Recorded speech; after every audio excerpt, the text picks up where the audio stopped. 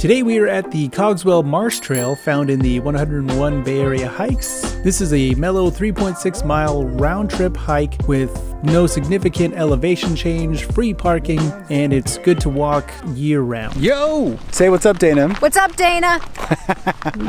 we're in Hayward and we're doing the Cogswell Marsh Loop. Yep.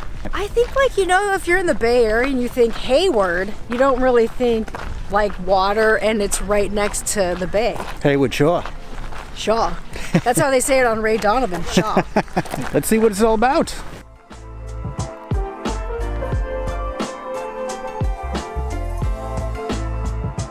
Here's what the book says about this trail. Ponder the importance of the San Francisco Bay to human beings and wildlife on this bird rich stroll along the wetlands.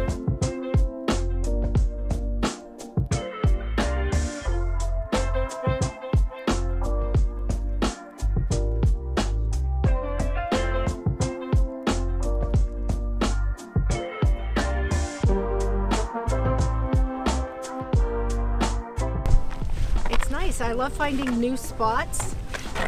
I love being by the water. You know it's also really good that I'm noticing? You're not getting that bay funk. Oh, that's true. Coyote Hills. Get the funk. You get that funk. We're up a little higher. But right here, so far, beautiful. They're not your typical marshy air.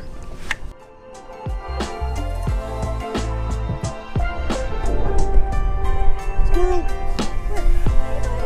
It's okay.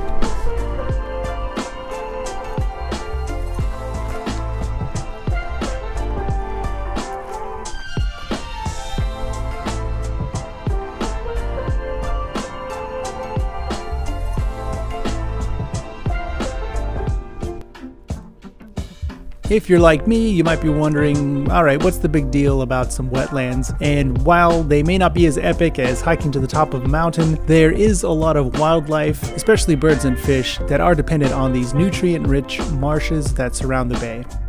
In fact, in the 1950s, this area was altered to increase salt production. It wasn't until the 1970s when environmental engineers got together and reclaimed 400 acres of these freshwater, brackish water, and saltwater marshes in one of the largest marsh restoration projects on the West Coast.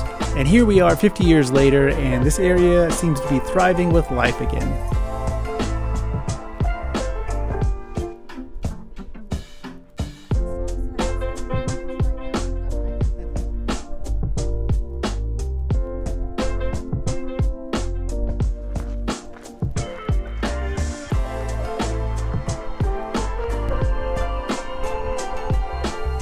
And that wraps up the Cogswell Marsh Loop, another hidden gem in Hayward worth checking out if you are in the area.